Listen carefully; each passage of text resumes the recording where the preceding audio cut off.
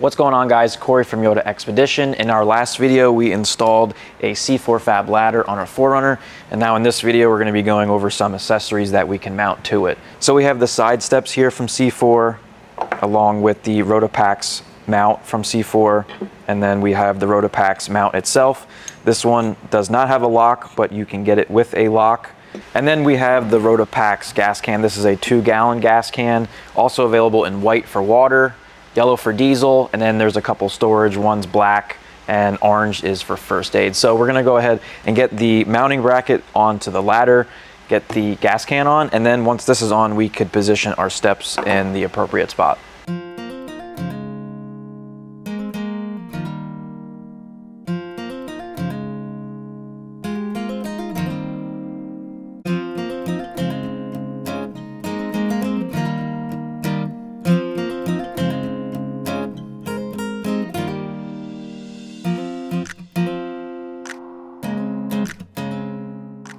All right, so we have the Rotopax uh, mount to the C4 mount, and then we have that bolted onto the ladder.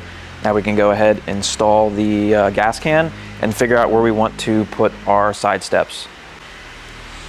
All right, so once we install the Rotopax can onto the ladder, you can see that the lower step is no longer usable. So that's where the side steps come into play, and you figure out exactly where you want to mount those.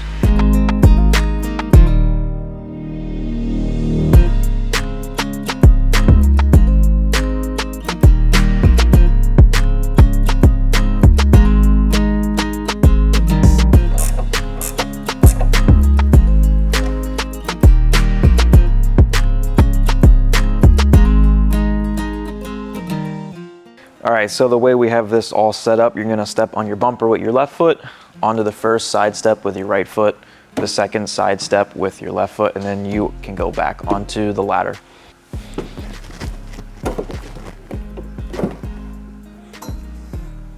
All right, so now with these accessories on the ladder, it's a little bit more useful than just a ladder. Whether you wanna store liquid or tools, you can do that.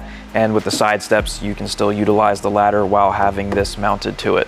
Or if you want, you can simply just take your can off and use the ladder without the side steps. If you want a C4 ladder or any of these accessories for it, for your 4Runner or Toyota, head over to yotaxpedition.com. Thanks for watching.